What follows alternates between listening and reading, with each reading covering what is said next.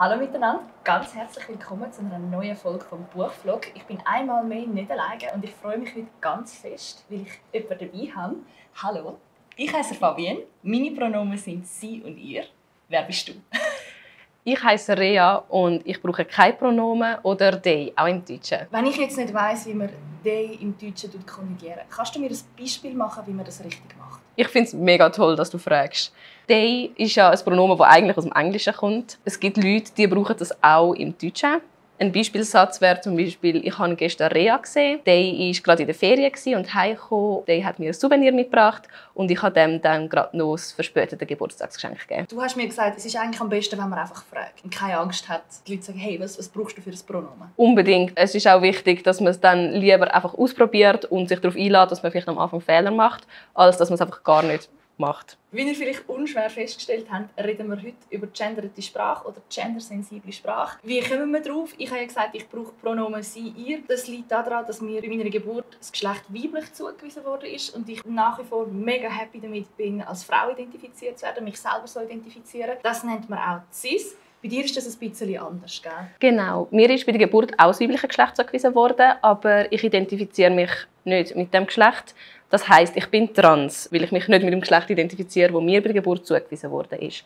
Da ich mich aber auch nicht als Mann identifiziere, sondern als weder Mann noch Frau, nennt man das non-binär, weil es nicht in die binären Geschlechter von Mann und Frau hineinfällt. Und Heute reden wir darüber, wie man das sprachlich abbilden kann. Mir als Cis-Frau ist genderinklusive Sprache mega wichtig. Einerseits aus feministischer Perspektive, weil ich sehr wichtig finde, dass Frauen auch mit abgebildet werden in der Sprache. Also generisches Maskulin mit Klammern, Frauen sind mit gemeint, das verhebt einfach gar nicht. Aus queer-feministischer Sicht finde ich es aber genauso wichtig, dass die Diversität von Geschlecht auch abgebildet wird. Heutzutage in der gendersensiblen Sprache ist es ja auch wichtig, dass Geschlechterdiversität abgebildet ist, weil gerade mir als non-binäre Person geht es einfach einfach so, wenn es noch jemand heisst, liebe Damen und Herren, dann finde ich, okay, Tschüss.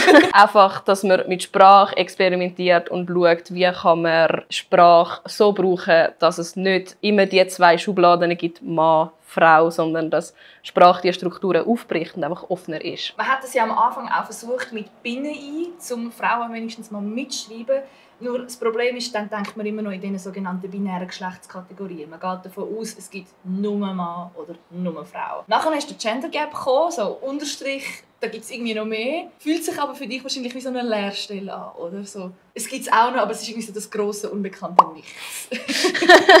Nachher hat man sich überlegt, Doppelpunkt, das soll den Lesefluss vereinfachen, also für Leute, die auch eine Sehschwäche haben oder Leseprobleme haben, dass es einfacher ist zu gendern. Davon ist man inzwischen aber auch wieder ein bisschen weggekommen, weil man sagt, es macht für Lesehilfeprogramme keinen Unterschied. Und dann landet man eben bei der Variante, die wir glaube beide am meisten bevorzugen, das Gender-Sternchen. Und die verschiedenen Strahlen von dem Sternchen sollen die Geschlechtervielfalt symbolisieren. Das Schöne am Genderstern finde ich, dass, wenn man das im Text hat, es hat Sternchen, Sternchen sind schön.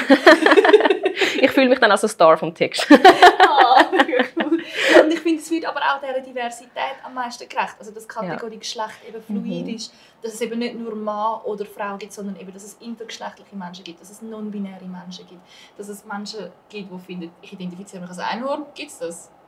Katz? Mm. Nein. Nein. Okay, das, das ist, ist also, Genau, also das ist ja das, wo immer ähm, Gegner nachher finden, wo eben davon redet, dass das alles nur ein Gender-Gaga ist und dass das doch alles, da können wir sich ja als alles identifizieren, auch als Einhorn oder als Helikopter. Aber das hat ja nichts mit Geschlecht zu tun. Also Gender, das betrifft Menschen und Gegenstände und Tiere, die werden nicht gendern. Aber wenn wir vielleicht mal zum Buch kommen, wo, wo wir da haben. Das Coole ist an dem Buch von Christine Olderdissen ist, dass sie kommt nicht von dem Gender-Diskurs her, also von dem mehr sozialen Thema, sondern sie kommt wirklich stark vom Sprachwissenschaftlichen her und wie funktioniert die deutsche Sprache.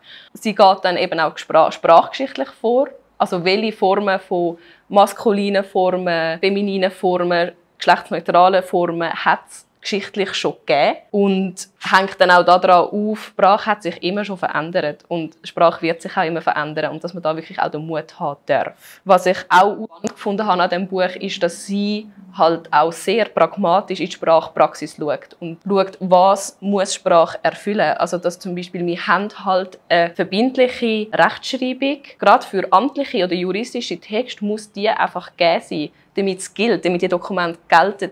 Wenn man dort, und der Genderstern zum Beispiel, der ist einfach noch nicht in der Rechtschreibung drin. Das heißt, wenn man den irgendwo bei amtlichen Dokumenten setzt, dann ist das nachher einfach nicht gültig. Und das, finde ich, ist wirklich auch die Stärke von diesem Buch. Und sind das sehr einfache oder anschauliche Sachen. Also sie ja. gar nicht unbedingt sagt, es muss jetzt in jedem Fall eine Beidnennung stattfinden, also jede und jede, sondern man kann auch ganz pragmatisch sagen, alle. Christine Olderdissen, da merken wir, dass sie kommt prinzipiell von, von der Gleichstellungsthematik her. Also ihr geht es auch vor allem mal darum, dass nicht immer nur Männer im Text abgebildet sind, sondern auch Frauen. Die Autorin stellt also binäre Arten vom Gendern auch als valide Form an.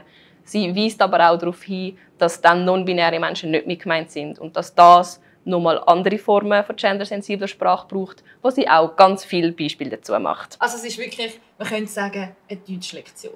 Genau. Und einfach eine einfache Art und Weise, wie man kann lernen gendersensibel zu formulieren, ohne dass man eben zwingend den Genderstern muss brauchen. Auch wenn wir natürlich beide finden, er darf so oft vorkommen, wie der Genderstern will. Das Buch ist auch sehr kurzweilig geschrieben, sehr humorvoll. Also sie macht auch viel Witz und ich habe so viel Mühe lachen, wenn ich das Buch gelesen habe, weil sie auf so eine erfrischende, leichte, humorvolle Art und Weise daran geht. Ihre Herangehensweise ist, Hauptsache, es wird gendert. Lassen wir es doch auf eine Art umsetzen, die aus dem Status quo raus, aus so wie die Welt jetzt ist, irgendwie realistisch ist. Aber sie ist auch sehr no Bullshit. Also, dass gendersensible Sprache wichtig ist, das ist Gesetz, das ist für sie nicht mehr verhandelbar. Da uns der Zugang fast zu pragmatisch ist und zu wenig weit geht, kommen wir jetzt zu deinem Artikel. Ja, genau. Ähm, wir haben etwas Zweites dabei, das ist Missy Magazine.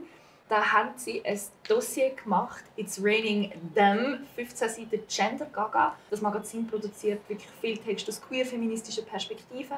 Und in diesem Dossier kommen sehr viele Menschen zu Wort, die sich als trans oder als non-binär identifizieren und wo wie so ein Horizont öffnet für, was gibt es überhaupt alles für Pronomen, angefangen beim schwedischen hen, hem oder beim französischen jel oder beim spanischen eje. Das ist wirklich aus der Perspektive geschrieben von Menschen, die das aktiv brauchen oder die auch eben sagen, ich identifiziere mich so und so, ich habe gerne die und die Pronomen und jemand anderes schreibt aber auf der genau gleichen Seite, nein, ähm, mir sagt das Pronomen nicht so viel, ich bevorzuge es lieber so oder ich möchte am liebsten gar kein Pronomen oder ich suche mir das nach Kontext aus, je nachdem wie wohl ich mich fühle. Und das ist ist ein super spannendes Dossier, einfach um mal zu schauen, wie vielfältig Sprache auch gelebt werden kann oder wie kreativ Sprache gelebt werden kann. Die große Stärke ist eben von dem Dossier, dass man merkt, es ist noch so viel mehr möglich. Also Sprache ist nicht einfach etwas, wo ist und das bleibt dann immer so, sondern es braucht viel Mut und es braucht viel Kreativität, um das zu verändern. Aber man muss eben irgendwo anfangen. Und dazu finde ich es auch sehr notwendig, dass man eben gerade die Perspektive von Menschen mit einbezieht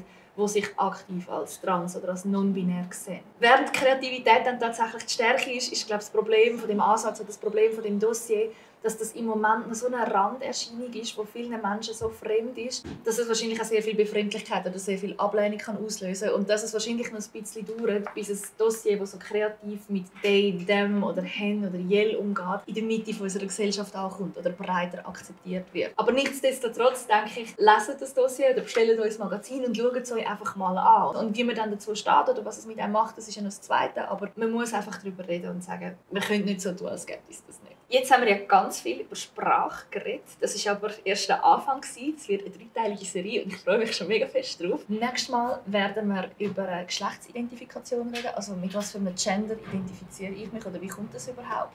Das und was Körper und Gesellschaft damit zu tun haben. Genau, und darauf sind wir schon gespannt. Und was dann noch weiterkommt, das werdet ihr auch sehen. Und wir freuen uns, wenn ihr nächstes Mal RefLab